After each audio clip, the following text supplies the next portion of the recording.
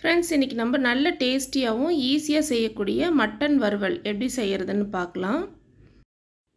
அரை kilo mutton இது நம்ம குழம்பு வச்சுட்டு இந்த குழம்புல இருந்து கறியை மட்டும் தனியாக எடுத்து வச்சுக்கலாம். இதை தான் இப்போ நம்ம வறுவல் செய்ய போகிறோம் கடாய் நல்லா சூடானதும் ரெண்டு டேபிள் ஸ்பூன் அளவு கடலெண்ணெய் சேர்த்துக்கலாம். இதில் தாளிக்கிறதுக்காக ரெண்டு காஞ்ச மிளகாய் ஒரு அன்னாச்சிப்பூ ரெண்டு பட்டை மூணு கிராம்பு கொஞ்சமாக சோம்பு ஒரு பிரியாணி இலை. இப்போ இந்த மசாலா எல்லாமும் எண்ணெய் நல்லா சூடானதுக்கு அப்புறமா சேர்த்துக்கலாம். இப்போ இந்த ஸ்பைசஸ்லாம் வாசனை வரத்துக்காக லேசாக வறுத்துக்கலாம். இப்போ இதில் ரெண்டு கொத்து கருவேப்பிலையே சேர்த்துக்கலாம். கருவேப்பிலை நல்லா பொரிஞ்சதும் ரெண்டு பச்சை மிளகாவை லேசாக கீறிட்டு சேர்த்துக்கலாம். பச்சை மிளகாவோட வாசனை இந்த வறுவலுக்கு நல்லாயிருக்கும் இது லேசாக வறுத்துடலாம். இப்போ இதில் ஐம்பது கிராம் அளவு சின்ன வெங்காயத்தை மிக்சியில் லேசாக குறகுறப்பாக இருக்கிற மாதிரி அரைச்சிக்கலாம். இதை சேர்த்துட்டு வெங்காயத்தோட பச்சை வாசனை போகணும். ஓரளவுக்கு வந்து வதக்கி எடுத்துக்கலாம். இந்த மாதிரி வதங்கினா போதும். இதில் ஒரு டேபிள் ஸ்பூன் அளவு இஞ்சி பூண்டு பேஸ்ட் சேர்த்துக்கலாம். இஞ்சி பூண்டு பேஸ்டோடைய பச்சை வாசனை போகிற அளவுக்கு இதை வதக்கிக்கலாம். தீயை குறைவாக வச்சு வதக்கிக்கலாம். இல்லாட்டி அடி பிடிச்சிரும். இப்போ இது நல்லா வதங்கிடுச்சு. இதில் ஒரு பெரிய தக்காளியில் பாதி அளவை இந்த மாதிரி நல்லா நைஸாக அரைச்சிட்டு சேர்த்துக்கலாம். இந்த தக்காளியோடைய பச்சை வாசனைலாம் நல்லா போயிட்டு எண்ணெய் பிரிஞ்சு வரணும். அது வரைக்கும் இது நல்லா வதக்கிக்கலாம். சின்ன தக்காளியாக இருந்ததுன்னா ஒரு தக்காளி சேர்த்திங்கனாவே உங்களுக்கு சரியாக இருக்கும். இப்போ பார்த்திங்கன்னா இது நல்லா வதங்கி வந்துருச்சு. இப்போ இதில் நம்ம தேவையான மசாலா பொடியெலாம் சேர்த்துக்கலாம். இந்த சின்ன ஸ்பூன் அளவில் நம்ம சேர்க்க போகிறோம் அரை ஸ்பூன் மஞ்சள் தூள் ஒரு ஸ்பூன் அளவு தனி மிளகாய் தூள் ரெண்டு ஸ்பூன் அளவு மல்லித்தூள் கூடவே தேவையான அளவு உப்பு சேர்த்துக்கலாம்.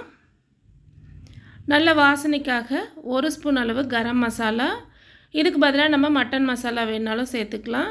இப்போ இந்த மசாலாவோட பச்சை வாசனையெல்லாம் போகணும். இது ஆயிலே நல்லா ஃப்ரை பண்ணிக்கலாம்.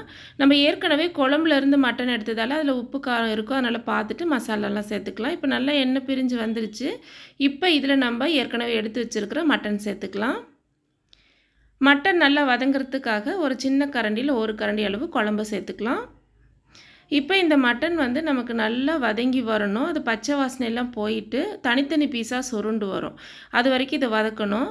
நம்ம வதக்கும் போது இடையில் பார்த்திங்கன்னா உங்களுக்கு அடியில் ஒட்டி வரும். அப்போ இந்த மாதிரி நல்லா எடுத்து விட்டு கலந்து விட்டுக்கலாம்.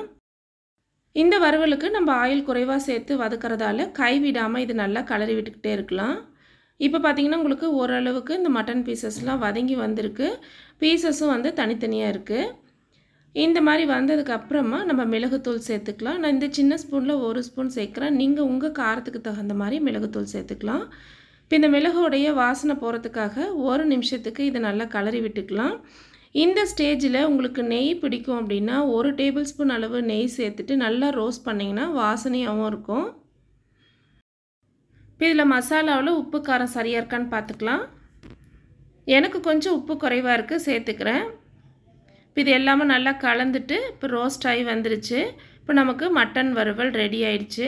இப்போ இந்த மாதிரி வந்ததுக்கப்புறமா தேவையான அளவு நம்ம கொத்தமல்லி தலை சேர்த்துக்கலாம்.